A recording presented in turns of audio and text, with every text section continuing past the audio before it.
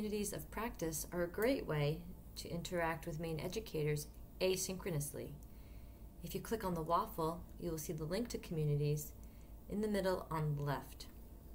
Once you are in Communities of Practice, you will notice that you can search for a community of practice.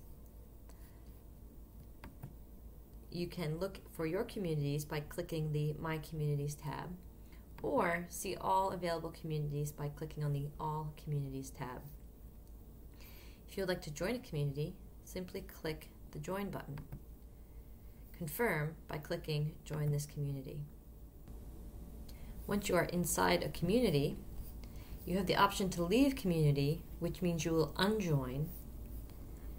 A description about the community. The members of the community appear down the left hand side, and the conversation appears on the right. Resources appear below all of the members' names. If you would like to react to or to reply to somebody's post, you do that right underneath the posts. If you would like to start a post, simply click Start a Post.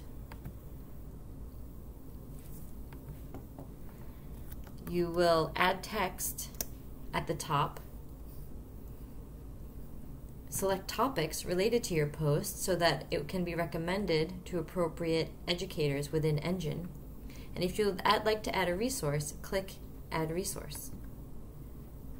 There are three options for adding a resource. You may add a resource from your Resource Ed library, you may upload a file, or you may add a link. Fill in the appropriate information and click Create Post. One final note is that if we navigate back to My EnGiNE,